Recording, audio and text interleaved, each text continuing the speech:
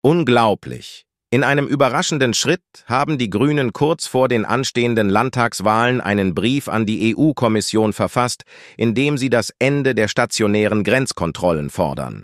Dieser Vorstoß kommt zu einer Zeit, in der die Diskussion um die Sicherheit an den Landesgrenzen, insbesondere im Hinblick auf illegale Einwanderung, wieder verstärkt in den Fokus gerückt ist. Bundesinnenministerin Nancy Faeser hatte im vergangenen Jahr stationäre Kontrollen an den Grenzen zu Tschechien, Polen und der Schweiz angeordnet, die während der Fußball-Europameisterschaft verstärkt wurden.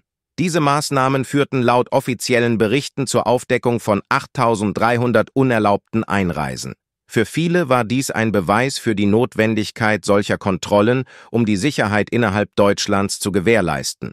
Die Grünen hingegen argumentieren, dass diese Grenzkontrollen nicht mit dem Schengener Grenzkodex vereinbar seien und berufen sich dabei auf ein neues Fachgutachten, das die Wirksamkeit der Kontrollen in Frage stellt.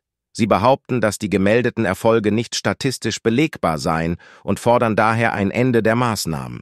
Die Forderung der Grünen hat eine Debatte darüber ausgelöst, wie essentiell kontrollierte Grenzen für die Existenz eines Staates sind. Kritiker der Grünen, darunter auch einige aus den eigenen Reihen der Ampelkoalition, sehen die Forderung als gefährlich und als ein Signal der Aufgabe staatlicher Souveränität. Sie argumentieren, dass ein Staat, der seine Grenzen nicht schützen kann, letztlich auch seine Fähigkeit verliert, seine Bürger zu schützen.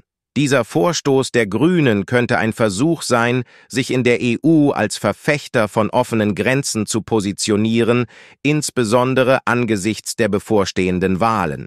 Dennoch bleibt unklar, bei welchen Wählergruppen sie mit diesem Vorschlag punkten wollen, da die Forderung nach offenen Grenzen in der breiten Bevölkerung eher auf Skepsis stößt. Die Forderung der Grünen, die Grenzkontrollen aufzugeben, hat die politische Debatte in Deutschland erneut angeheizt. Während einige dies als notwendigen Schritt für ein vereintes Europa sehen, betrachten andere dies als eine Gefährdung der nationalen Sicherheit. Wie sich diese Diskussion auf die anstehenden Landtagswahlen auswirken wird, bleibt abzuwarten.